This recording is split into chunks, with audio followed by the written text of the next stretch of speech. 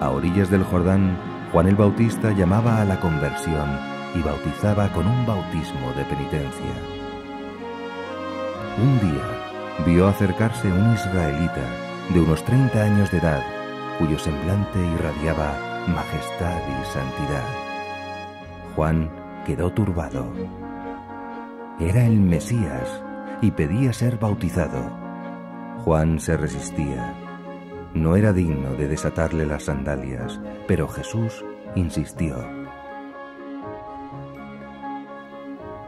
Después de ser bautizado, cuenta San Mateo, se abrieron los cielos y se vio al Espíritu de Dios descender sobre él en forma de paloma.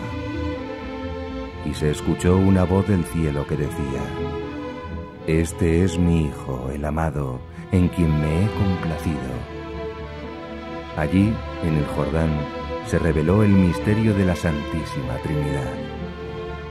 Desde entonces, en el nombre de las tres divinas personas, el Padre, el Hijo y el Espíritu Santo, recibirán los cristianos el bautismo, el primero de los sacramentos, el que perdona el pecado original y nos abre las puertas del cielo.